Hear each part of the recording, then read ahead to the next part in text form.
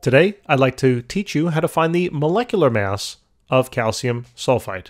In order to do so, I'm going to use the handy dandy little table I created. Bam! So the first thing is I'm going to write down the elements in the compound. So we have calcium, Ca, we have sulfur, S, and we have oxygen, O. The next thing is to write down the number of atoms of each, and that's where the subscripts come into play. So the subscript of calcium is a 1, right? Even if there's nothing there, that does not mean it's a 0. It's, it is a 1, all right?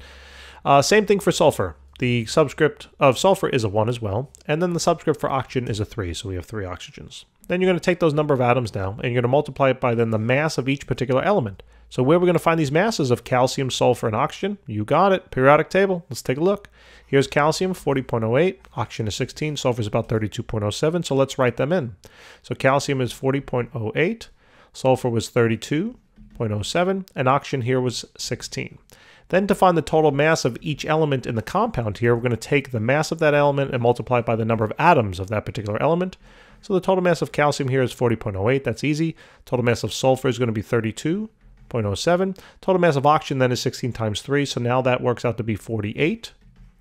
And then all we're simply going to do is just add them together now to find now the total mass of the entire compound. So when we do that, it works out to be about 120.15.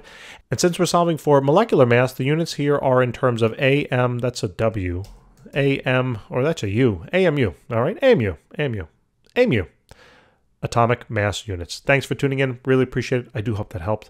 And if it did, help us out. Like, subscribe, tell your friends. We'll see you soon. Take care.